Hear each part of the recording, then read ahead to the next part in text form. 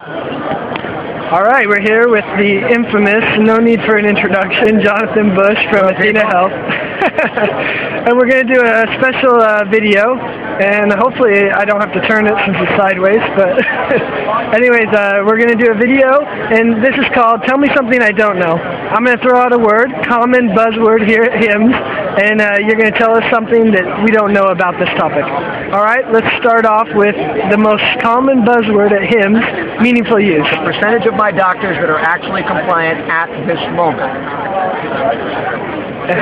That's, That's something that you don't know.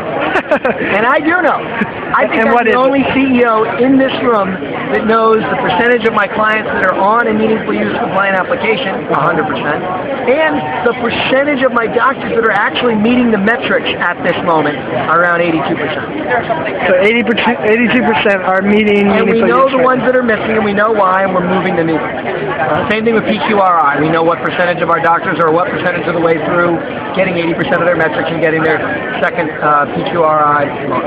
Nice. How about uh, ACOs? Do you know that it is occasionally happening that these guys, that ACO is a code, a code word being used to vertically integrate doctors and drive up price? I don't, it's not always, I'm sure, doing that, but uh, that's happening. Interesting.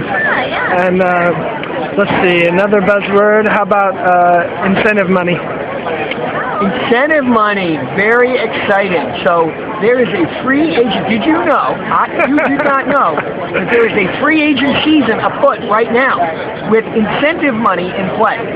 Government incentive money has led to hospital subsidized physician salary incentive money, which has led to payers panicked of doctors and hospitals getting married, doing P for P incentive money, all trying to pull the doctor uh, in the direction of these different gravitational forces.